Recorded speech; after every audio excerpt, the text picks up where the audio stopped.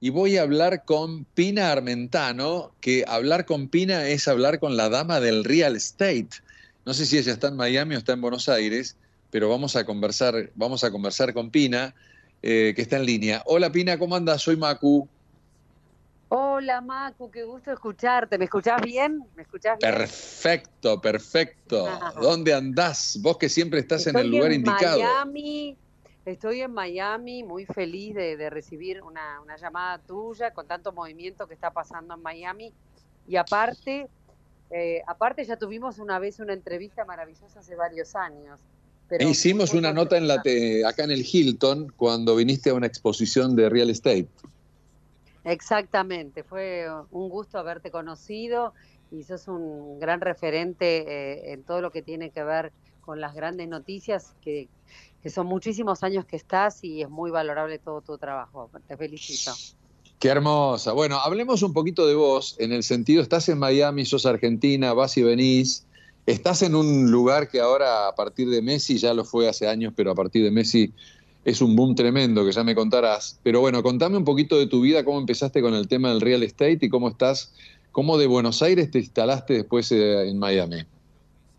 Bueno, mi historia es eh, una historia de inmigrantes, eh, de padres italianos, en donde para nosotros los italianos, me considero también italiana, como mi sangre es italiana, ¿no es cierto? Entonces, eh, la, cultura del ladrillo es algo que viene mucho en la, idiosincrasia italiana de personas que han sufrido guerras como la Primera y la Segunda Guerra Mundial. Y en ese momento eh, mi madre empezó a comprar propiedades aquí en Argentina, donde las arreglaba, las eh, remodelaba y me llevaba a mí de pequeña a, ver todo este trabajo y así me fui enamorando del real estate. En un momento, luego yo me fui a estudiar a Estados Unidos, en una universidad americana en Los Ángeles, en Loyola Marymount University, y estudié en Roma. Y ahí, en el año 1993, sentí que Miami iba a ser la capital de las Américas. Y me acerqué a los desarrolladores y muy atinadamente les dije, yo soy la persona que ustedes necesitan para para que yo las represente a ustedes en Latinoamérica. Y bueno, y ellos eh, en 1993 todavía Miami no era lo que es hoy, por supuesto, confiaron en mí y eh, comencé a representarlos y fui la primera mujer que traje eh, las propiedades de Miami en Argentina. Y luego en el año 2001 creé mi show de real estate para la cadena de E! Entertainment Television Latinoamérica, en donde puse todos mis conocimientos de, real estate y, de entretenimiento y diría que fui la, la primera influencer del real estate. Todavía no existían las redes sociales. Y así empezó mi amor y siguió y siguió y siguió y siguió.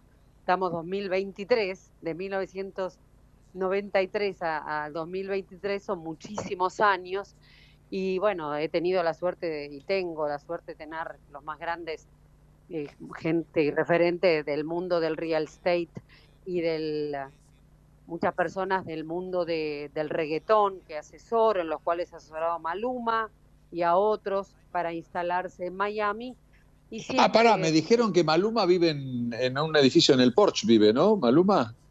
Sí, tal cual, tal cual, tal cual. Bueno, ahora me contarás eso, pero lo que me llama la atención, interesante la, la, historia que me contás, Pina, lo que me llama la atención es que mucho argentino exitoso en el mundo del real estate ahí, ¿no? Está, está Fortuna, creo que es argentino, está vos, está Pérez, ¿no? Que también es argentino-venezolano, o sea, mucha gente que, que, que, nació en Argentina o que tiene vínculo con la Argentina que, que se dedicó a eso ahí, ¿no? Y vos me dirás, Macu, y hay varios más que yo no sé, que capaz que yo no conozco.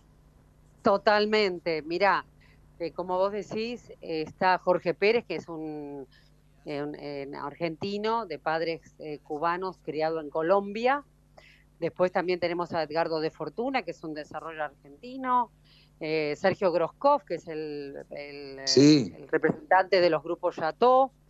Eh, Melo, que es otro gran diseña, eh, eh, representante de, es argentino, que también, César Peli, que hizo el, el, teatro, el, teatro Colón eh, de Miami eh, lo hizo él, es el arquitecto más famoso del mundo, el que hizo las Petronas.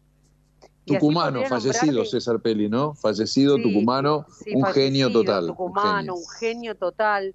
Y así podría seguir diciéndote muchísimos referentes, cada uno en sus áreas, que, que somos argentinos y, y, yo soy muy orgullosa de ser argentina, de origen italiano, y me encanta estar, poder aportar mi talento a, a Miami y a los Estados Unidos. Y, y, ahora que vino Messi ya es como, wow, Argentina está de moda total. Ahí había una especulación con Messi, ¿no? Porque vos dijiste recién que me confirmaste que Maluma vive en el edificio Porsche y creo que tiene ahí, eh, eh, Leo Messi tiene un departamento también, un piso eh, pero bueno, creo que no vive ahí porque entrena en Fort Lauderdale. Pero háblame un poquito de esos grandes edificios, háblame de Maluma en Porsche, háblame un poco de, esa, de ese mundo del cual nosotros tenemos nada de acceso. Mira, eh, realmente Miami ahora, Jeff Bezos se acaba de instalar en, eh, en Star Island, compró su casa, el dueño de Amazon, compró su casa en Star Island eh, y así te podría... perdóname, describime Star Island, porque sé que es, digamos, que está unida por un puente, que, hay, hay muchos terrenos y de poca gente, una cosa así.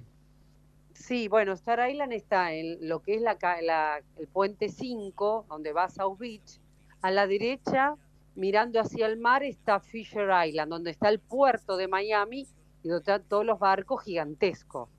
A la izquierda está Star Island, Hibiscus Island, en donde ahí vive Julio, vivía Julio Iglesias, eh, vive el de Wall Street, vive ahora eh, em, Jeff Bezos y muchísimos otros personas que son ya como billonarios del mundo entero o sea, para Pina, eh, ahí de ahí cruzando el puente estás en la punta de South Beach, una cosa así. Exacto, a la derecha está Fisher Island, que es, en un momento Susana Jiménez tenía su casa ahí en Fisher Island, claro. Eh, es la que se va en barco hasta el apartamento, hasta la casa, hasta la isla de Fisher Island. Y después, ah. cuando terminas de cruzar, en la 5 entras a, a lo que es la parte de terrestre, eh, que está eh, a, metros del mar, y ahí está South Beach, donde está la casa de Versace. Claro, claro, claro. Pero, pero esta isla que nos estás hablando está del otro lado entonces. Está del lado izquierdo antes de llegar a la parte terrestre. O sea que el acceso es bastante dificultoso desde el lado de que es súper, súper, súper, súper, súper, súper, súper privado para poder acceder y llegar ahí. Entonces, o sea que es como un eh, lugar propio de ellos, es como un club, pero en realidad es un barrio. Es un barrio eh, que es como es un barrio, pero que es una isla en donde son mansiones que cuestan hasta, por ejemplo, también una mansión que estaba en ese lugar en donde vivía Al Capone. Al Capone, Al Capone cuando vivió ahí en Miami, cuando tenía su casa, yo la fui a ver a la casa de Al Capone, porque una vez cuando eh, el manager de, David Beckham, que, me pidió a mí que yo vaya a ver la casa de Al Capone. Yo no sabía que Al Capone había estado ahí y averigüé y fui a la casa donde había estado Al Capone. Son historias increíbles. No, eh, increíble esa historia. ¿Y qué, qué, tipo de casa tenía Al Capone? Al Capone tenía una casa que estaba sobre el agua en Star Island, pero tenía aparte como un río, un pequeño puente dentro de la, su propia casa que tenía como un pequeño laguito. Entonces contaban que él le encantaba fumar sus habanos en ese puente. Entonces, eh, verdaderamente las, las, distintas opciones de Miami está creciendo y con esta llegada de, de, de Messi, es una revolución porque Messi elige irse a vivir a Miami, no porque va a un club que es el primero del mundo. O sea, está último en la tabla, todo, todo. Él elige a la ciudad. ¿Por qué elige a la ciudad ahí? Porque se habla español, porque siente que está más cerca de Argentina, de Latinoamérica, porque básicamente en, en Miami se habla, el español es la primera lengua, la segunda es el inglés. Entonces eh, uno se siente, y Messi, que es una persona que cuando le hacen consultas y lo entrevistan en Estados Unidos, él contesta en español, aunque sean americanos los entrevistadores, muestra que él quiere sentirse cómodo en su lenguaje. Entonces, y en su idioma, y eso es maravilloso. Y obvio, la oportunidad económica que él está teniendo es una oportunidad maravillosa, pero el, eh, lo que está haciendo, el, como él ser una figura mundial, mundial, luego de haber ganado el campeonato del mundo en diciembre, y como los americanos son que ellos quieren ser números unos en todos, como sea, sí o sí. Y entonces, ¿cómo no iban a elegir traer a Messi? ¿Y cómo eligieron antes traer a David Beckham? Entonces, si ya trajeron a David Beckham, que es una figura inglesa del, del Manchester, un, eh, un modelo de las más grandes marcas de, de, ropa del mundo, era el segundo paso para superar esa, ese boom de marketing, era traer a Messi. No solo por su talento, sino por lo que él significa. Sí, se les dio, se, dio toda una situación que, bueno, eh, fueron muy sorprendidos ellos, ya lo, lo, ha contado Beckham, estando en Japón se sorprendió mucho de que Messi eh, hubiera dicho que iba ahí. ¿Quiénes son los más canosa? ¿De que por qué tienen esa fortuna los dueños del club? Eh, bueno, son unos grandes empresarios de, muchísimos años en, Miami que, bueno, que han, eh, han apostado al fútbol, en, a lo como dicen los americanos, al soccer, que es algo que no es el, eh, el, deporte número uno de los Estados Unidos. Pero ahora, al, traer esta, a traerlo a Messi, está llamando la atención de manera exponencial a todo esta gente joven que por ir a ver americana, no por ir a ver, de todas las nacionalidades, de todas las distintas eh, etnias y de todas las comunidades, eh, afroamericana, japonesa. Eh, ahí el fútbol lo que está haciendo es que está uniendo todas las pasiones. Eh, y eso, lo que pasaba en Argentina, ¿no? Y también yo estuve en el estadio y están todas las, las barras bravas que se han armado para Messi, se come choripán, se comen las empanadas. No, no, no, no, no, no, no, no te puedo explicar. Bueno, los canales, los canales argentinos, caso Teis Sport y ESPN, es como que ya están en Miami instalados hace desde que Messi dijo que iba, ya se instalaron allá, hay chicos que están viviendo allá, o sea, es como, no te diría que es una provincia argentina, pero está a punto de serlo, ¿no? Totalmente, totalmente. Bueno, siempre han dicho que, que Miami es la parte sur más eh, de, los Estados Unidos o la parte más norte de, los, eh, de Latinoamérica. Entonces, eh, definitivamente, eh, todo esa wafer eh, con nuestro folclore argentino, que las empanadas, que el chimichurri, que el choripán. El otro día yo estuve ahí y me comí un choripán antes de ir a... Yo decía, pero la delicia que no, por supuesto, por supuesto. Escúchame, Pina, nos quedan cuatro minutos y te quiero preguntar por vos. Contame de vos en, en qué andás, eh, qué, eh, cómo, cómo hace la gente para comunicarse con vos, qué, en qué negocios estás, con qué edificios, con qué casas, con qué barrios, dónde, dónde, dónde se te ve. Mira, yo estoy, la verdad que también ahora muchas personas que quieren instalarse en Miami, empresas, eh, me están solicitando asesoramiento, dado mi, mi, expertise y tantos años de estar aquí para ayudarlos y, eh, eh, y poder hacer, de, cometer los menos errores posibles y posible que no cometer errores. Porque como cuando vos vas a otro país, tenés que tener un referente que te ayude y que te guíe para con las personas correctas, porque si no, si el pie no empieza con el pie derecho, puede ser un problema, luego un problemón. Más en un país como Estados Unidos, donde las leyes son hiper estrictas, todo debes, no es, bueno, mañana te pago, no, no, acá todo es impecable. Y otra cosa que estoy armando, que ya que quiero que me digas que yo estoy armando un study, Real Estate, he armado un Real Estate Study Tour, que lo voy a hacer del 21 al 27 de octubre en Miami, donde quiero invitar a todos los que escuchan y que quieren venir, en vez de venir y descubrir Miami desde lo que ya conocen, el shopping, yo con, un, con mi socio vamos, ya trajimos a más de 150 personas, vamos a mostrarle lo mejor del real estate de Miami.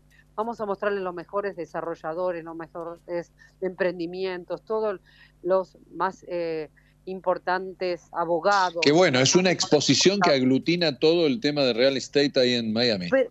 Pero, no, es, no es una exposición. Yo, nosotros tenemos un micro y lo llevamos en el mismo micro en una van ah, ah es, un tour, es un circuito, es un, circuito. Ah, está es un circuito De, de una semana cinco noches, empieza con un con eh, ir en un, en un yacht y viendo el skyline de Miami, de downtown, de Fisher Island y termina con un atardecer en la costa oeste de la Florida y después un entrenamiento eh, académico y aparte un networking con empresarios, con ejecutivos del mundo del real estate, desarrolladores y los que participan generalmente son grandes ejecutivos, pero que son muy importantes dentro de sus países, pero no tienen el know-how de, Miami. Por eso necesitan una persona eh, que los pueda guiar y llevar. Y nosotros eso es lo que hacemos.